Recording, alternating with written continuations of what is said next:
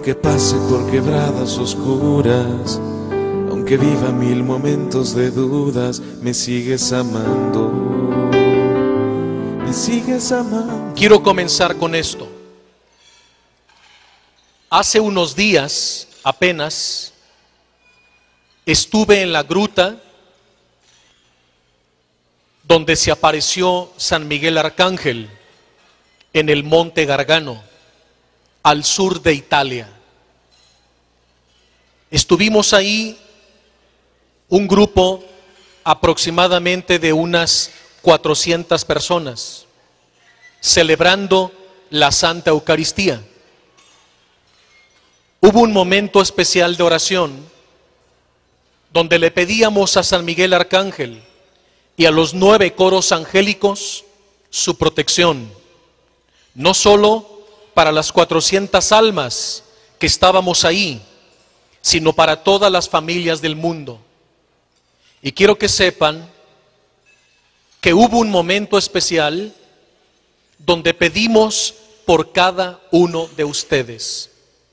Y le pedimos a San Miguel Arcángel que hiciera descender los nueve coros angélicos a tus familias, a tus hijos, a tus trabajos, a tus proyectos, a tus apostolados y a toda tu vida.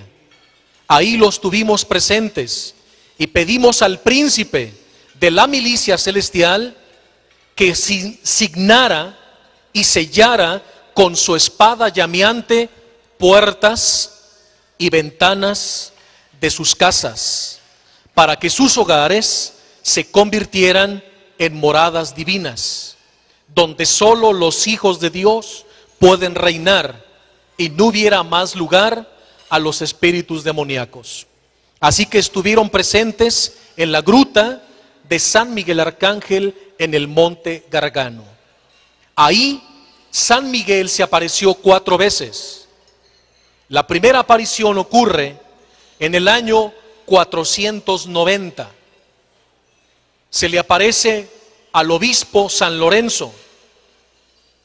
Debido a un milagro ocurrido en la gruta, el obispo convoca tres días de oración y ayuno. Van en peregrinación y San Miguel se le aparece y le dice, soy el príncipe de la milicia celestial y por voluntad divina he bajado del cielo para consagrar esta gruta por mí mismo, porque aquí debe levantarse un santuario para Dios y vendrán de todo el mundo a celebrar la Santa Eucaristía. Estas palabras proféticas del arcángel San Miguel al día de hoy se siguen cumpliendo. En esa gruta Estuvo también San Francisco de Asís, Santa Teresita del Niño Jesús, el Santo Padre Pío de Pieltrelchina, Juan Pablo II, Papa Benedicto XVI, Juan XXIII, María Ágreda y muchos santos y santas a través de la historia, que han ido a cumplir las promesas de San Miguel Arcángel, príncipe de la milicia celestial. Finalmente, San Miguel en ese lugar se apareció cuatro veces haciendo milagros portentosos para gloria de Dios. Y en esa gruta ustedes han quedado consagrados a la protección del príncipe de la milicia celestial. ¿Les parece bien? Pues démosle un aplauso a San Miguel. Bien merecido nuestro protector, el jefe de la milicia. Y voy a partir de este principio. Muchos de nuestros hermanos en la fe no saben que cuando nuestro Padre Celestial creó a los santos ángeles del cielo, espíritus purísimos, de luz y de belleza armónica. Los ángeles al principio no gozaban de la visión beatífica, ¿Qué significa esto? Los ángeles, cuando fueron creados, no podían ver a Dios. Igual que nosotros, tampoco le podemos ver. Mientras estemos en esta tierra de paso, en el exilio, no podemos verle. Hasta que partamos de esta tierra, si pasamos la prueba de amor y de fidelidad a Dios.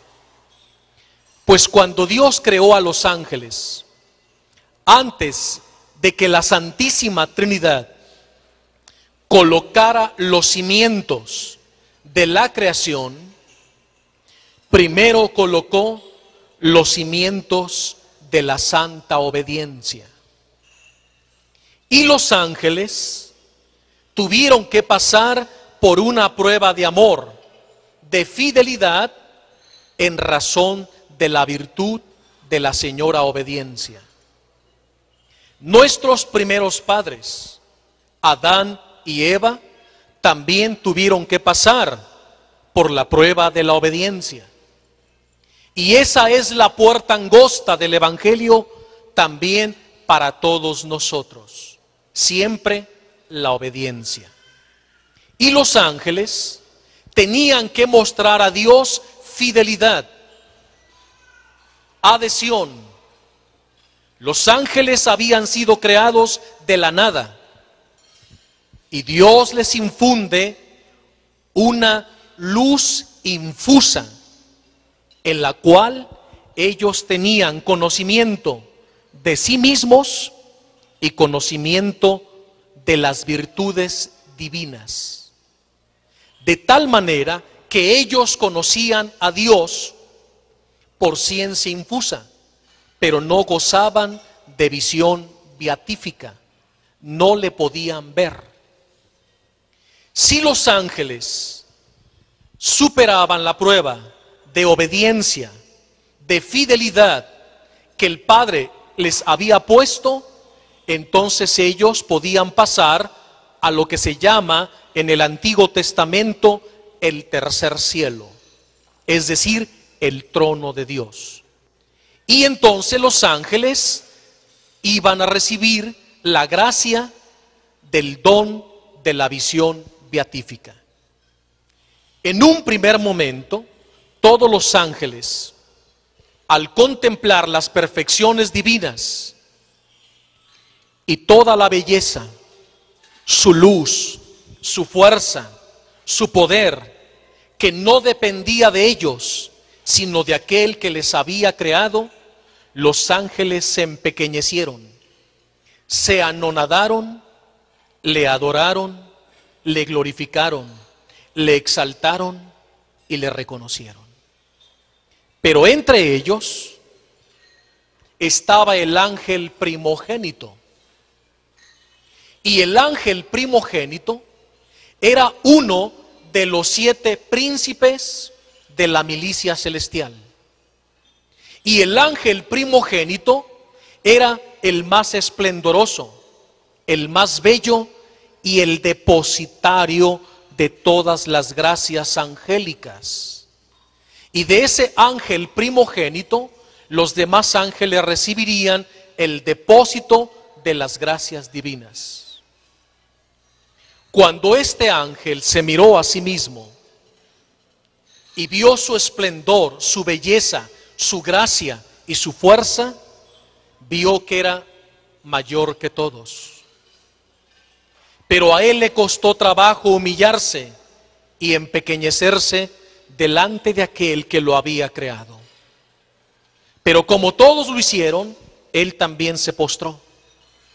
Pero no por amor, no por obediencia voluntaria, sino porque no tenía opción.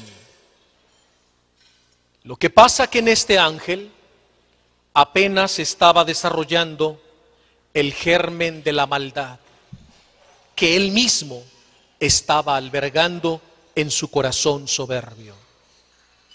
Todavía la fuerza del pecado no tenía la fuerza suficiente para revelarse abiertamente aquel que lo había creado.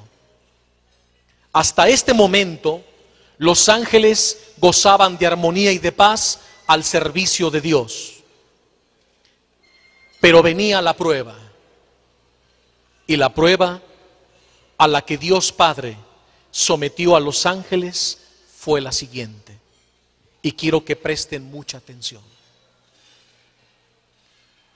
Cuando nuestro Padre reúne a toda la corte angélica,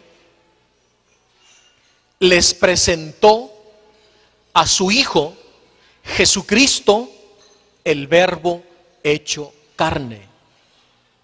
Se los presentó en sus dos naturalezas, divina y humana, en una verdadera unión hipostática, como una sola persona, la persona del Verbo encarnado. Cuando todos los santos ángeles contemplaron la visión del Verbo encarnado, se les pidió que se postraran ante Él lo adoraran como su rey y como su Dios.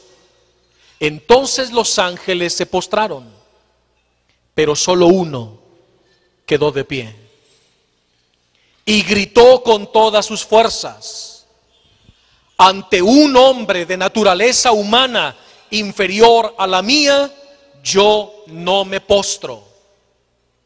Entonces le gritó con voz luciferiana, a todos los ángeles que se rebelaran, que no podían postrarse ante una naturaleza humana, ellos que eran seres de naturaleza angélica y espíritus purísimos.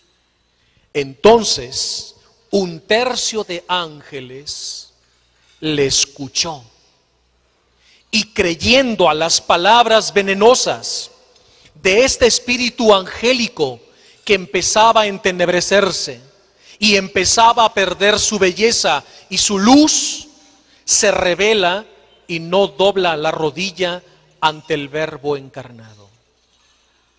Entonces, Dios Padre, al ver cómo su ángel primogénito, llamado Luz Bella, estaba contrariando a los espíritus angélicos para revelarse ante Jesucristo y no reconocerlo como su Señor y como su Dios y Creador y su Rey, entonces Dios Padre experimentó un profundo dolor.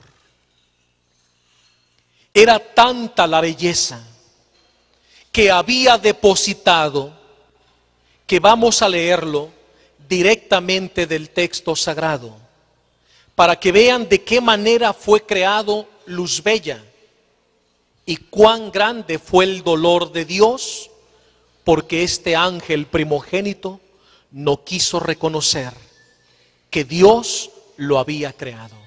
Escuchemos lo que dice el profeta Ezequiel en el capítulo 28, versículo 12. Dice Dios Padre, eres y eras un modelo de perfección, lleno de sabiduría y hermosura perfecta. Estabas en el Edén, en el jardín de Dios, adornado con piedras preciosas, topacio, diamante, ópalo, berilio, amatista, zafiro, rubí y onix.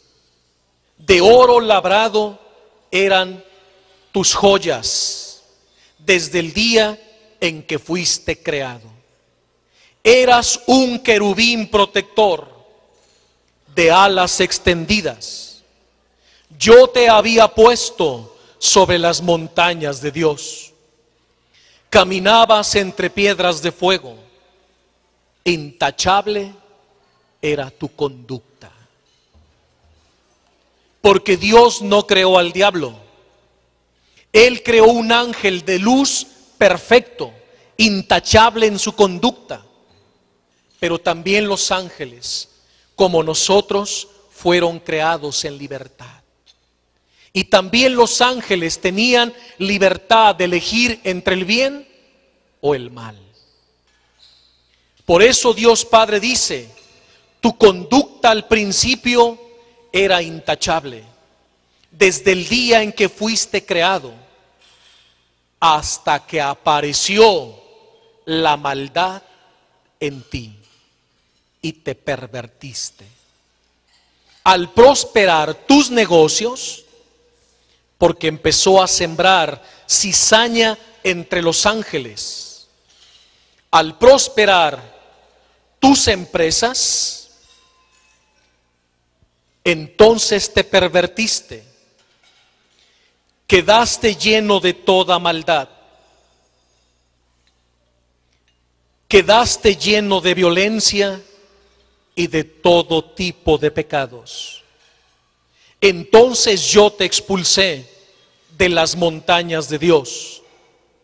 A ti, el querubín protector, te hice desaparecer de entre las piedras de fuego. La belleza te llenó de soberbia, de orgullo quedaste enseguecido. El esplendor echó a perder tu sabiduría.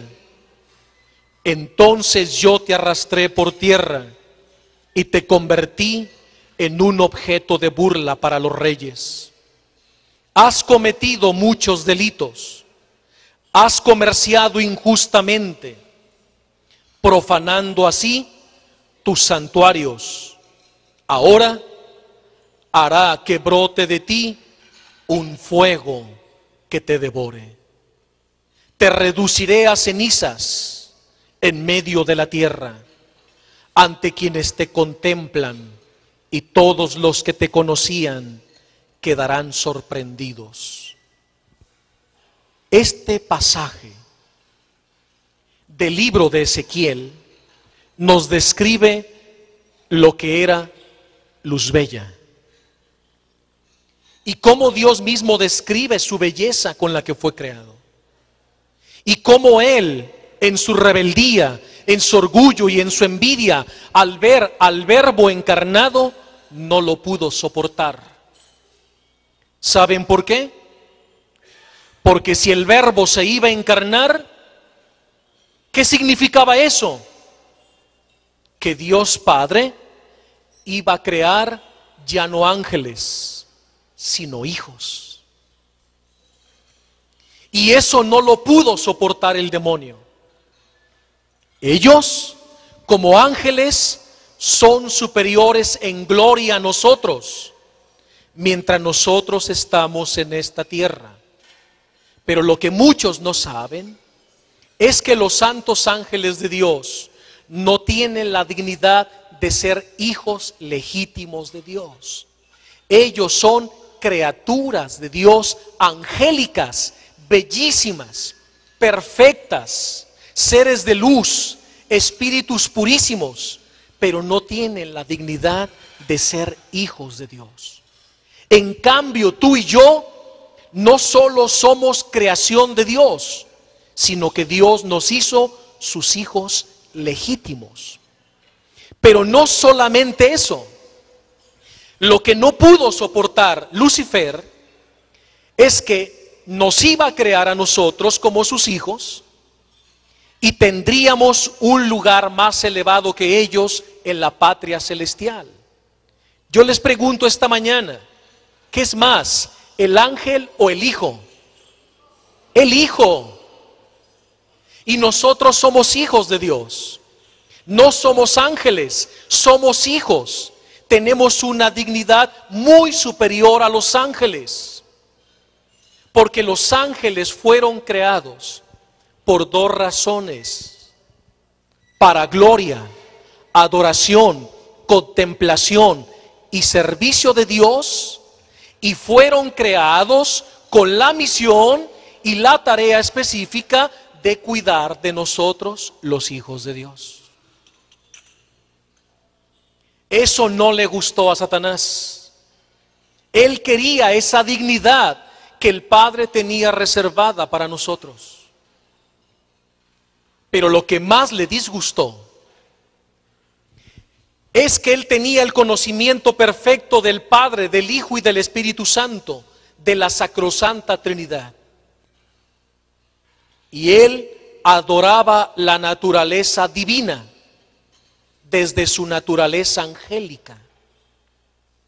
Pero cuando el Padre les presenta la segunda persona de la Santísima Trinidad al Verbo hecho carne como nosotros, él no lo pudo creer ni aceptar. ¿Qué, qué, qué? Que la segunda persona de la Santísima Trinidad va a adquirir naturaleza humana y la va a elevar a un plano tan alto de poder participar nosotros como hijos de la misma naturaleza divina en el Hijo. Esto él no lo podía entender. Y cuando el Padre les presenta al Verbo encarnado y que Jesús una vez se encarnara, cuando él retornara al cielo, no es que iba a dejar su naturaleza humana y volvería a recobrar su naturaleza divina. No, sino cuando el verbo viniera y se encarnara y tomara carne humana y se hiciera hombre como nosotros sin dejar de ser Dios, en una perfecta unión hipostática de dos naturalezas en una sola persona divina y humana, cuando el verbo retornara al trono eterno del Padre, el verbo conservaría su naturaleza divina y su naturaleza humana. ¿Les parece poca cosa? ¿Están dándose cuenta hasta dónde fuimos elevados? Entonces Satanás no lo pudo comprender. Por eso cuando el Padre Eterno, en su amor y misericordia, les presenta al Verbo encarnado en la eternidad, ellos lo rechazan. Y todos los ángeles corrían el peligro de pervertirse. Porque Lucifer tenía mucha fuerza y poder sobre ellos. Pero entonces cuando los ángeles están a punto de caer, aparece por lo más alto del cielo San Miguel Arcángel, gritando con una voz solemne que llenaba todo el cielo. ¿Quién como Dios? ¿Quién como Dios? Cuando los ángeles escucharon las palabras de San Miguel Arcángel que gritaba por lo más alto del cielo, ¿quién como Dios? eso les dio una luz tremenda para darse cuenta de quién eran ellos y que habían sido creados de la nada y que todas las gracias, virtudes, fuerzas, honores y glorias que poseían no era por ellos, sino por aquel que los había creado. Entonces, dos tercios de ángeles se levantaron y se unieron a San Miguel Arcángel pero un tercio de ángeles, miles y miles y millones de ángeles, se levantaron y se fueron con Lucifer. Entonces, San Miguel Arcángel vio como la corte celestial angélica estaba dividida. Entonces San Miguel Arcángel les dio un gran discurso, una prédica a todos los ángeles, para que recapacitaran. Pero meditemos en el quién como Dios. Cuando San Miguel en su estandarte dice, ¿quién como Dios? No fue una simple frase que surge de la nada.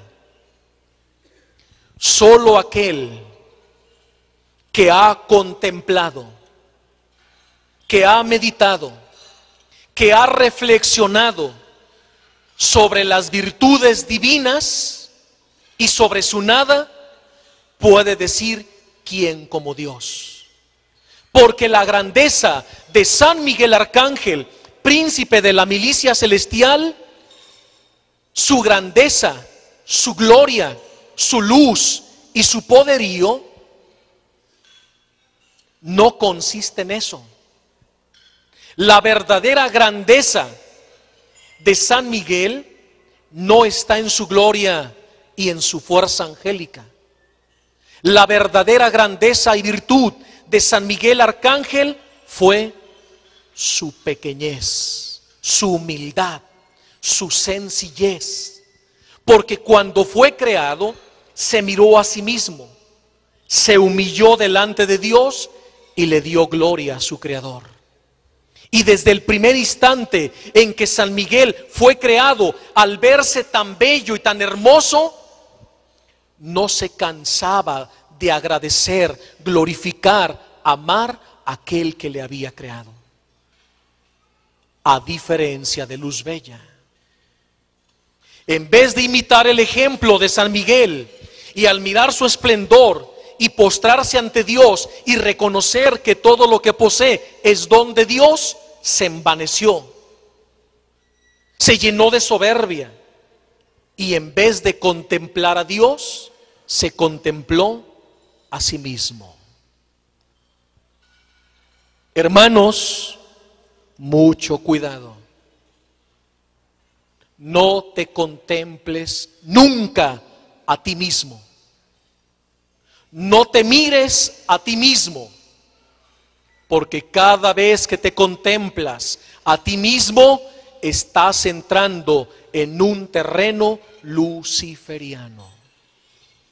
Por eso San Miguel gritó, ¿quién como Dios? Porque él había orado, meditado, contemplado sobremanera las perfecciones divinas y su pequeñez y su nada delante de aquel que es todo. Cuando los ángeles escucharon el grito, ¿quién como Dios? comprendieron la enseñanza y la predicación que en el cielo San Miguel le dio a los ángeles.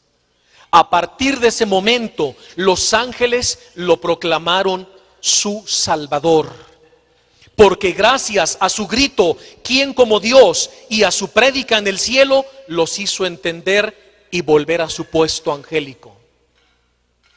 Entonces, el otro bando de ángeles negros, dañados por la serpiente letal, no hicieron caso a las palabras de San Miguel Arcángel, sino que el demonio pronunció también su discurso.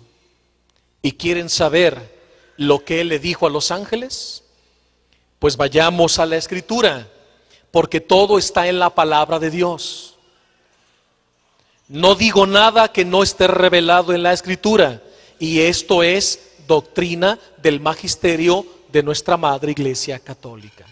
Ahora, vamos con el profeta Isaías. El profeta Isaías, en el capítulo 14, nos revela cuáles fueron las palabras luciferianas y lo que Satanás le propuso al tercio de ángeles que creyeron en él. Estas fueron sus palabras. Primero dice la denuncia, tu esplendor ha caído en el abismo con la música de tus arpas. Tu colchón serán los gusanos, las lombrices tu manta. ¿Cómo has caído del cielo, estrella brillante? Hijo de la aurora? ¿Cómo estás derribado por tierra, opresor de las naciones? Atención, tú que pensabas en tu interior, escalaré los cielos, levantaré mi trono por encima de las estrellas de Dios, me sentaré en el monte de la reunión en la morada divina. Subiré a lo más alto de las nubes y seré igual que el Altísimo. ¿Qué les parecen sus palabras? Lucifer le gritaba a los ángeles, yo subiré a lo más alto del trono de Dios, me igualaré a Dios, y yo seré su rey y ustedes serán mis príncipes. Por eso Jesús en el Evangelio de San Juan dice que el diablo desde el principio es mentiroso porque es el padre de la mentira. ¿Quién puede destronar a Dios? ¿Quién puede ser igual a Dios? ¿En qué hora pudo entrar en las mentes angélicas la soberbia satánica de creer que Él podía destronar a la Santísima Trinidad? Pero ellos le creían porque estaban cargados de soberbia. Subiré a lo más alto de las nubes, seré igual que el Altísimo. ¿Cómo has caído del abismo a lo más hondo de la fosa? Los que te ven se quedarán mirando y hacen esta reflexión sobre ti. Este era el ángel y mira en lo que ha terminado. El que era la luz purísima del alba radiante de la aurora, ahora es la estrella oscura en las profundidades del infierno. Entonces Dios Padre, al ver el terrible cisma, dos tercios de ángeles con San Miguel y un tercio con Lucifer, en su amor y en su misericordia, escuchen bien esto, Dios Padre, que está en un eterno presente. Porque Dios no tiene pasado ni futuro. Él es un eterno presente. Entonces el Padre, queriendo darles una segunda oportunidad a los ángeles rebeldes y a Lucifer, después de que rechazaron al Verbo encarnado, el Padre Eterno les da una segunda oportunidad. Esto ocurrió en el cielo en la eternidad. Y te has preguntado, ¿cuál fue la segunda oportunidad que les dio Dios Padre? Entonces, el Padre Celestial, queriéndolos hacer recapacitar y que se volvieran a las filas de la milicia celestial para que no se perdieran eternamente, en un segundo momento de amor les mostró a la Inmaculada, a la Santísima Virgen María.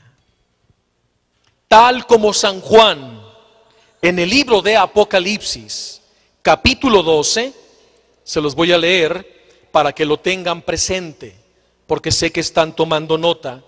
En el capítulo 12, Juan contempló lo que sucedió en aquel momento. Una gran señal apareció en el cielo. Una mujer vestida de sol, con la luna bajo sus pies y con una corona de doce estrellas sobre su cabeza. Esta señal, que es la mujer vestida de sol, estaba encinta. ¿Y de quién está encinta? de Jesús, el verbo encarnado, se las presentó como la madre del verbo encarnado y la madre de Dios, la Teotocos, para que los ángeles la reconocieran como su reina. Y si ese tercio de ángeles pervertido por Lucifer la reconocían como su reina, hubieran pasado la prueba y hubieran pasado a la visión beatífica. Pero en ese momento Satanás gritó, ante esta yo no me postro. Y los ángeles rebeldes, junto con Lucifer, por primera vez en la eternidad, profirieron palabras tan hirientes contra la Madre de Dios, la Inmaculada, que nosotros no haremos presentes. Porque hasta el solo pensar en ellas es una ofensa a la Inmaculada, a la Teotocos, a la Madre de Dios, nuestra Madre purísima. Entonces rechazaron a la Santísima Virgen María. Y quiero leerles textualmente cuáles fueron las palabras luciferianas. En ese momento de tanto dolor, porque los ángeles mismos que estaban con San Miguel no podían creer lo que estaba diciendo Lucifer. Así que el Padre les mostró la gran señal, la mujer del Apocalipsis, la mujer vestida de sol con la luna bajo sus pies para que la reconocieran como su reina y por medio de ella fueran salvados. Pero ellos la rechazaron. Para salvar a los ángeles, tribulados y vacilantes, San Miguel gritó nuevamente ante todos, veneremos a esta mujer singular y bendita, la Inmaculada, que será la obra de arte de la Santísima Trinidad, la madre futura del Verbo Divino y nuestra futura y gloriosa y admirable Reina. Arrodillémonos ante los planes divinos que recaen sobre ella. Estas fueron las palabras de San Miguel Arcángel, que invitaba a los mismos ángeles rebeldes a que reaccionaran antes de que fuera demasiado tarde y se perdieran eternamente en el infierno. No, gritó Lucifer, nunca, no, nunca serviré a una naturaleza inferior a la mía jamás reconoceré a esta mujer, respondió Lucifer con ira, con envidia y cargado de celos. A su grito luciferiano se unieron los ángeles rebeldes. Entonces Dios Padre, con sumo dolor, al ver la rebeldía de Lucifer y de los ángeles, que ni aún la visión anticipada de su reina les hacía recapacitar, Dios Padre dijo, bien, pues esta mujer a la que has negado veneración y respeto, será aquella que te aplastará la cabeza y por ella serás vencido y aniquilado. Un aplauso a la Virgen María.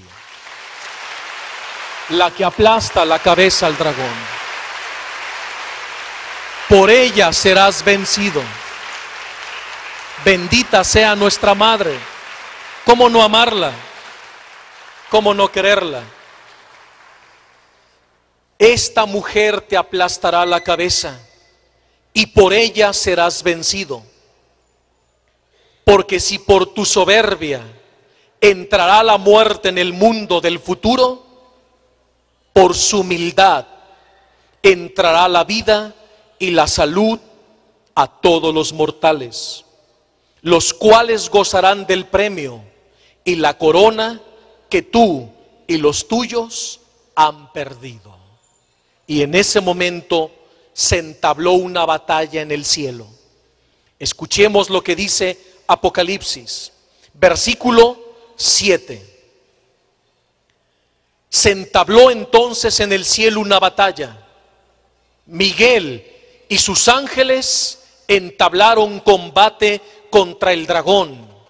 Lucharon encarnizadamente el dragón y sus ángeles, pero fueron derrotados y los arrojaron del cielo para siempre. Y el gran dragón, que es la antigua serpiente, que tiene por nombre diablo y Satanás, y que anda seduciendo a todo el mundo, fue arrojado a la tierra junto con sus ángeles.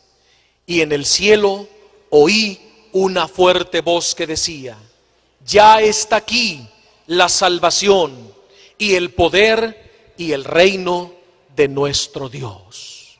Y así Satanás y ese tercio de ángeles fueron arrojados para siempre del cielo.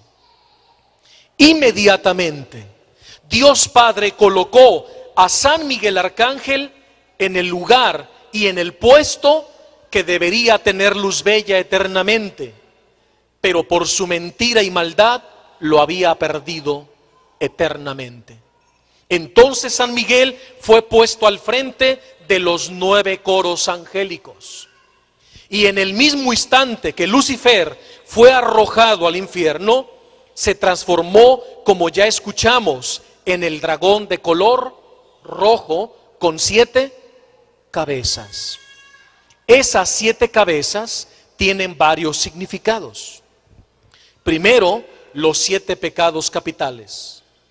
Segundo, son los siete príncipes demoníacos de las siete legiones demoníacas. Mientras que San Miguel, príncipe de la milicia celestial, preside los nueve coros angélicos, quedando ordenados de la siguiente manera. Y es importante que ustedes tomen nota de esto, porque de estos ángeles nosotros recibimos gracias especiales. Quedaron de la siguiente manera. El primer coro, presidido por San Miguel Arcángel, es el coro de los santísimos serafines. El segundo coro, los sabios querubines. El tercer coro, los altísimos tronos. Estos tres primeros forman la jerarquía más importante, que están en torno al trono de Dios. Visualiza en este momento el trono de Dios. Y en torno al trono de Dios vamos a dibujar tres círculos concéntricos. En el primer círculo concéntrico está la primera jerarquía angélica. Serafines, querubines y tronos. En el segundo círculo viene la segunda jerarquía angélica y tenemos dominaciones, principados y potestades. Dominaciones, principados y potestades. Y en el tercer círculo concéntrico en torno a la Santísima Trinidad tenemos la tercera jerarquía, angélica, y tenemos las virtudes, los arcángeles y los felicísimos ángeles de la guarda. ¿Por qué se les llama felicísimos? Porque de todos los nueve coros angélicos, los más felices son nuestros ángeles de la guarda. ¿Sabían eso? ¿Saben por qué son los más felices? Porque a ellos les tocó cuidar la mejor parte, lo que más ama el Padre, el Hijo y la Santísima Trinidad. A esos felicísimos ángeles les tocó cuidar de nosotros, los hijos, los que somos el motivo del amor de Dios. Entonces los felicísimos ángeles de la guarda están en esta tercera jerarquía y desde la eternidad se les llama felicísimos ángeles de la guarda, que están aquí ahorita entre nosotros. Y aquí están los nueve coros angélicos. Y aquí está San Miguel Arcángel. Es la corte de Dios, la corte celestial angélica. Ahora explico las características en breve de cada uno de ellos. Y la misión que cada uno de ellos ejercen sobre nosotros, para que presten mucha atención y los tengan siempre presentes. Empiezo por el primer coro, los santísimos serafines. Los serafines arden de amor divino delante de Dios. Son los que están más cerca del trono de la Santísima Trinidad y lo aman con un amor seráfico. Proclaman la santidad de Dios, continuamente le adoran y le reconocen. Pero ¿cuál es la misión que ejercen sobre nosotros? Presten atención. Los serafines nos ayudan a nosotros a entrar en los corazones las llamas vivas de la caridad. Cuando sientas que te falta amor, dile al coro de los serafines, enciendan mis corazones de ardiente amor seráfico para amar a Dios con todo mi corazón, con toda mi alma, con todas mis fuerzas, sobre todas las cosas. Esa es la misión que ejercen sobre nosotros. Por eso venid, santos serafines de Dios, y enciendan nuestros corazones de ardiente amor seráfico, para que amemos al Señor con todas nuestras fuerzas. Segundo coro, los querubines. Esos que se ven en las pinturas, esos chiquitines que andan por ahí entre las nubes, ¿los han visto? Son los que más se pintan. En esas pinturas clásicas de ángeles siempre aparecen los querubines. Vean las características. Contemplan las divinas perfecciones de Dios. Los querubines siempre están contemplando todas las maravillas de la Santísima Trinidad. Los querubines lo adoran, lo aman, lo suplican y le agradecen por todas las veces que tú y yo no le adoramos, no le amamos, no le agradecemos y no le suplicamos. Los querubines suplen por nosotros nuestras carencias en materia de adoración y agradecimiento a Dios. ¿En qué nos ayudan? Escuchen esto, es bello. Los querubines nos ayudan a abandonar la senda del pecado. Nos ayudan a seguir firmes en el camino y en la perfección cristiana. Cuando sientas que te empiezas a desviar y te sales de la puerta angosta o del camino angosto del Evangelio para entrar en el camino ancho, ¿a quién tienes que pedir ayuda? A los santos querubines. Y ellos vendrán con su amor a entrarte nuevamente en la senda verdadera. Tercero, los tronos. Santísimos tronos llevan en sí al Señor ellos lo están portando siempre a todas partes. Meditan la infinita grandeza de la Santísima Trinidad. Y no se cansan de adorarle por su grandeza, omnipotencia, omnipresencia y omnividencia. Estos tronos angélicos están siempre adorando y contemplando a Dios en su infinita grandeza. Pero ¿cuál es la misión que ejercen sobre nosotros? Los tronos infunden en nuestros corazones verdadero espíritu de humildad. ¿Escucharon lo que dije? Si te falta humildad, ¿a quién tienes que pedir ayuda? Al coro de los tronos ¿No fue lo que faltó eso a Lucifer? Humildad. Cuando sientas que te gana la soberbia, cuando sientas que te gana la vanidad, pídele a San Miguel Arcángel que envíe sobre ti al coro de los tronos para que te haga reconocer tu nada delante del que es todo y te hagas pequeñito delante de Dios. No se les olvida Ahora entramos al segundo círculo. La segunda jerarquía, las supremas dominaciones. Están tomando nota, ¿verdad? Porque veo que están escribiendo. Eso es muy bueno. Porque esta enseñanza tienen que llevársela a sus hijos y a sus grupos y a sus amigos. Y háganla correr por todos lados. Conocemos muy poco de los ángeles. Y lo que ahora ustedes están escuchando mis queridos hermanos, es solo un pequeño atisbo de angelología bíblica.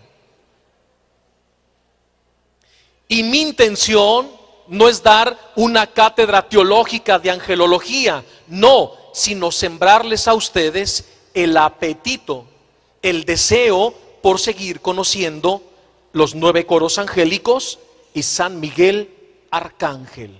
Ahora, vamos al segundo círculo jerárquico. Tenemos las supremas dominaciones. Estos ángeles, postrados ante el trono de la Santísima Trinidad, adoran al Padre incesantemente, en eterna felicidad. En la tierra, las dominaciones defienden el soberano dominio de Dios.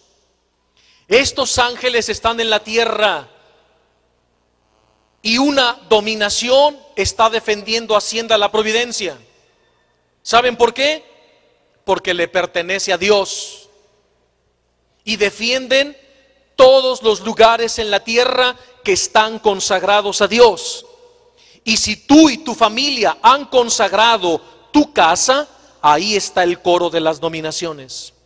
Porque reclaman lo que en la tierra por derecho de consagración le pertenece a Dios. Por eso consagren sus casas, bendíguenlas y séllenlas con agua bendita. Y cuando lleguen a puertas y ventanas, pidan al coro de las dominaciones que sellen puertas y ventanas para que los ángeles rebeldes no penetren en sus casas. Amén. ¿A quién van a pedir ayuda? Al trono de las dominaciones. ¿Qué ejercen sobre nosotros?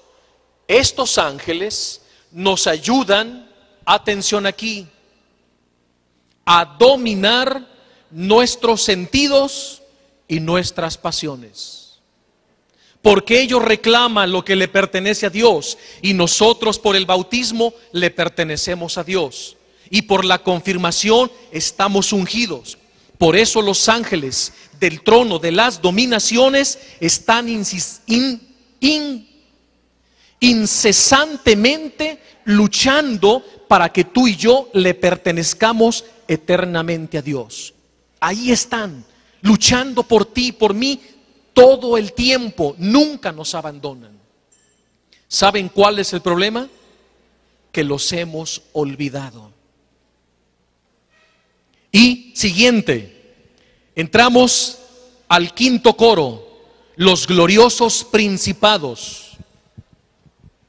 Son los que presiden los reinos, las provincias, las diócesis y las parroquias. En cada parroquia hay un ángel.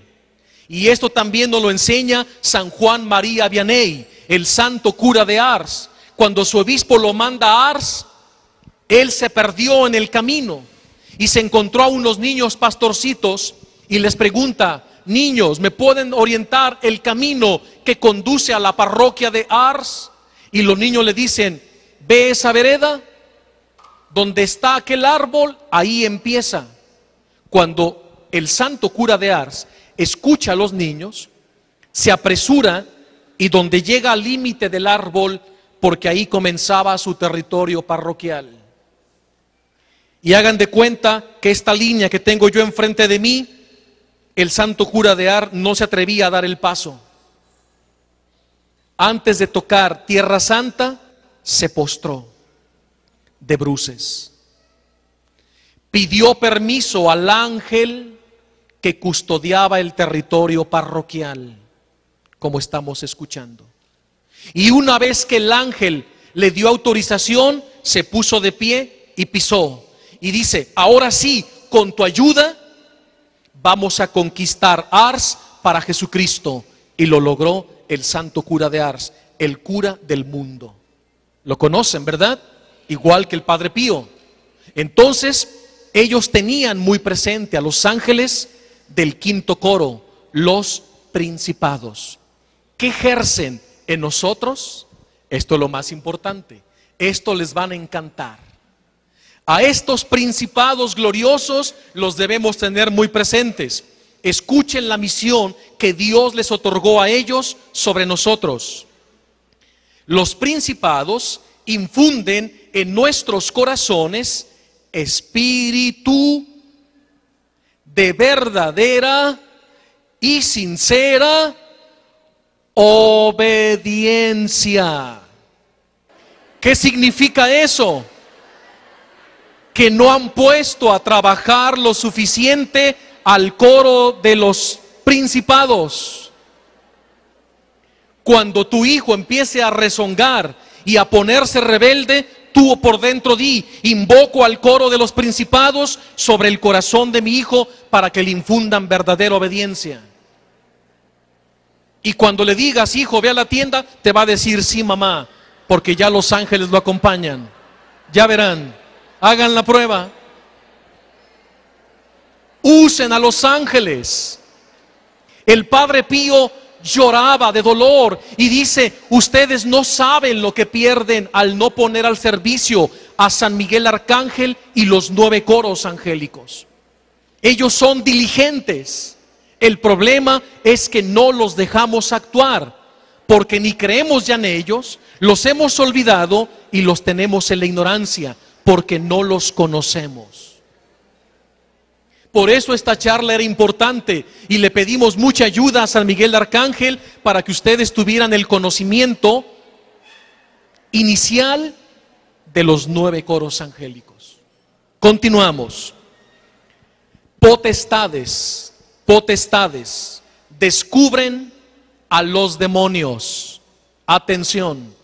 Cuando las cosas no te resulten bien en casa, en el trabajo, en tu matrimonio, en tu apostolado, ha de haber espíritus demoníacos. Invoca a las potestades, al coro angélico de las potestades.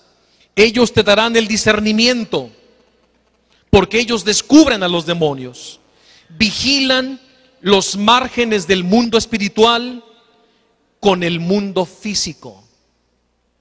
Ellos nos sostienen en las luchas y en los combates espirituales de la vida. Nos libran del mal y de la tentación, porque nos dan discernimiento cuando estamos siendo atacados por espíritus infernales. Las potestades. ¿No se les olvida? Potestades. Siete, virtudes. Operadores de toda maravilla. Las virtudes son los que obran los milagros. Hacen prodigios que están en los planes de Dios y lo hacen por nuestra salud. Las virtudes protegen nuestras almas de las tentaciones del demonio. Cuando veas a tu hijo tentado, abatido por el demonio, pide al coro de las virtudes que lo circunden. Y octavo, coro, los arcángeles. Escuchen esto, los arcángeles son nuncios, embajadores de Dios en misiones de gran importancia para el hombre. Los arcángeles nos ayudan a perseverar en el don de la fe, a propósito del año de la fe. Los arcángeles nos ayudan a perseverar en la fe y en las buenas obras que dan gloria a Dios. Y último, nuestros felicísimos ángeles custodios. Ángeles custodios que nos acompañan noche y día. Y cuando tú mueras, lo primero que vas a ver será a tu ángel de la guarda y a San Miguel Arcángel. ¿Sabían eso? Cuando tú mueras, lo primero que vas a ver será a tu ángel de la guarda y a San Miguel Arcángel. Y si moriste en gracia, ellos te circundarán. Y ningún espíritu infernal podrá acercarse. Y de las manos de San Miguel y de tu ángel felicísimo de la guarda serás elevado al cielo a las manos de Jesús y de María por toda la eternidad. Vean esto. Ejercen sobre nosotros una especial custodia en nuestra vida presente y después llevarnos a la gloria del cielo, depositándonos para siempre en los brazos de Jesús y de María en las puertas del cielo. Ahí están nuestros felicísimos ángeles de la guarda. ¿Les gustan los nueve coros angélicos? ¿Los conocían? Ya lo sabía. ¿Ves, Kimberly? ¿Por qué decidimos este buen tema? nadie conocía de los nueve coros angélicos. Pues démosles un aplauso a San Miguel y a los nueve coros, para gloria de Dios, para gloria de Dios.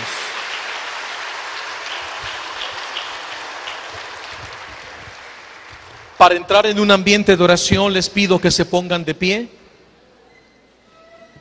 y vamos a entrar en oración.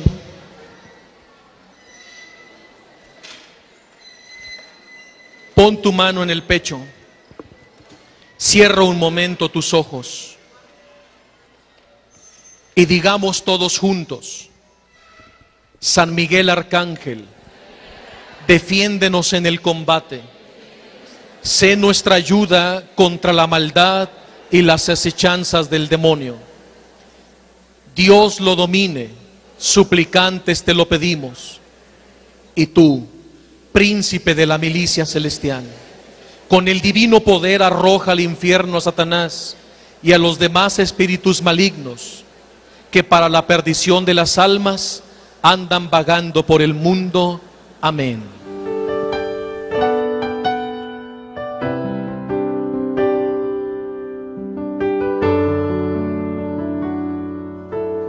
Aunque pase por quebradas oscuras, que viva mil momentos de dudas, me sigues amando, me sigues amando.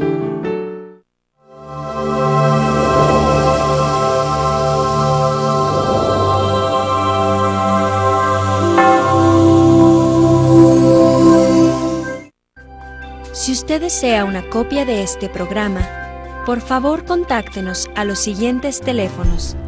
Desde el extranjero, marque 0052 33 3770 1814 y del interior de la República Mexicana al 01900 849 3507 o escríbenos a nuestro correo electrónico tienda virtual arroba mariavision.com y visita nuestra página web www.mariavision.com